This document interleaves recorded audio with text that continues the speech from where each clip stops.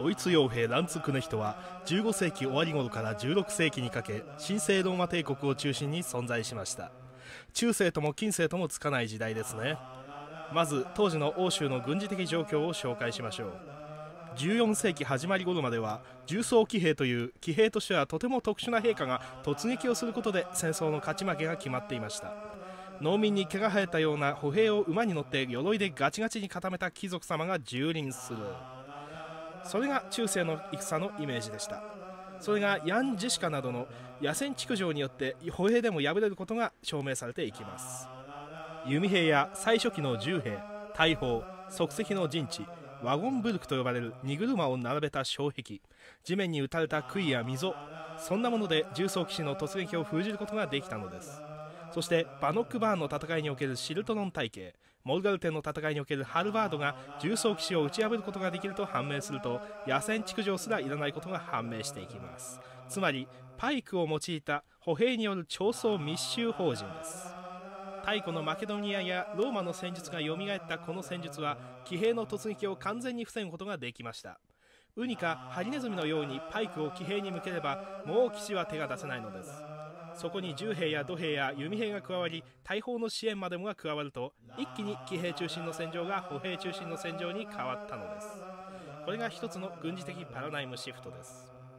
少数精鋭の騎士ではなく大量運用が基本の歩兵が中心になるということはある程度の質の担保された兵が大量に必要となるということでした。しかしまだ王様に絶対の権力が集中して富の河川が起きるほど社会は中央集権化していません。地方分権的な封建制から絶対王政に至る過渡期がこの時代です。つまりそんな大量の歩兵たちを常備軍として維持できる国王などどこにもいなかったのです。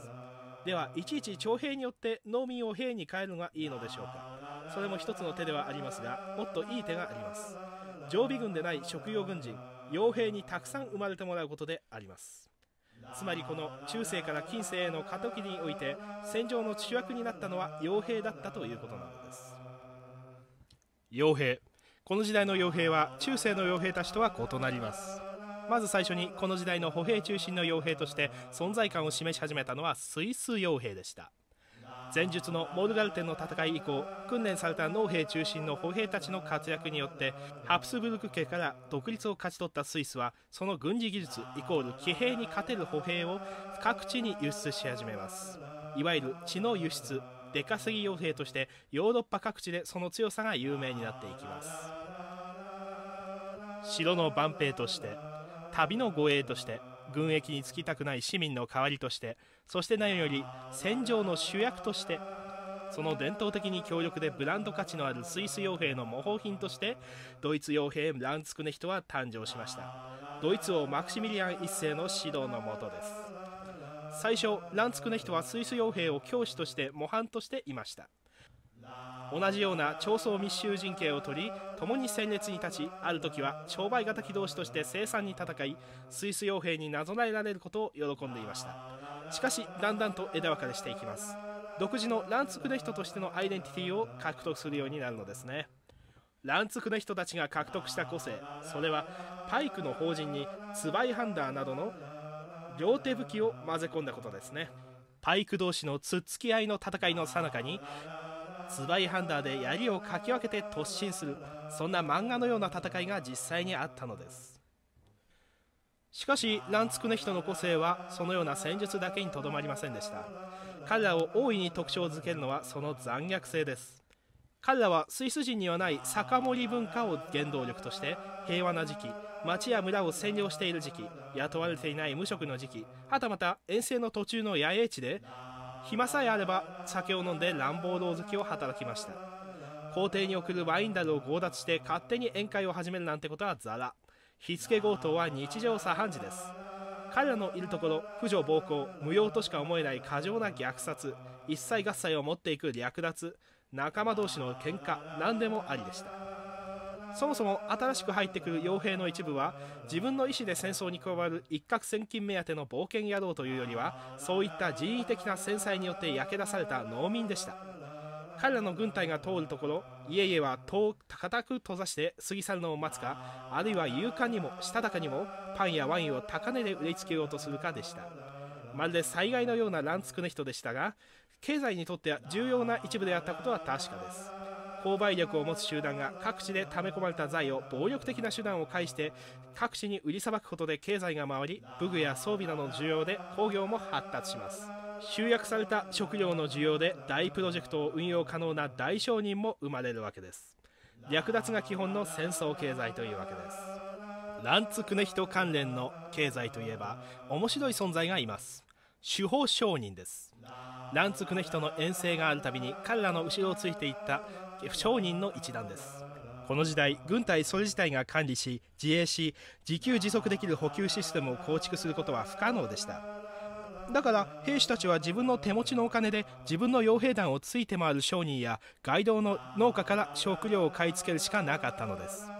憲兵などのシステムが生きている限りそして雇い主の領地内である限りそうそう略奪はできないので傭兵の兵士自身が自分のポケットマネーで糧食や装備を買うことが多かったのです。司法商人を乱暴に扱って物品を奪うこともできませんでした。なぜなら彼らの機嫌を損ねて遠征中にいなくなりでもされたらそれは途端に傭兵団全体の飢餓を意味するからです。こうして危うい暴力と金銭の間のバランスとはいえこの補給システムは機能していました。民間と協調して自活する軍隊というわけですね。